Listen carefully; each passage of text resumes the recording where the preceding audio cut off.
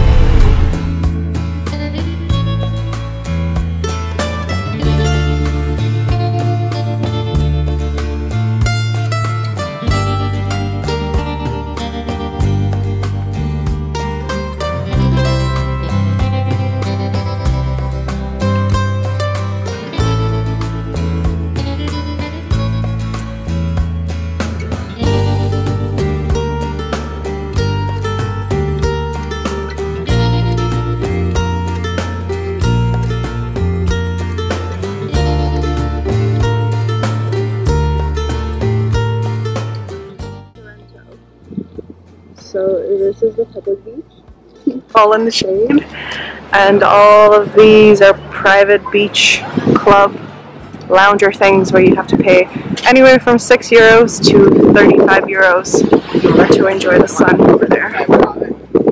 Because the public beach has no sun.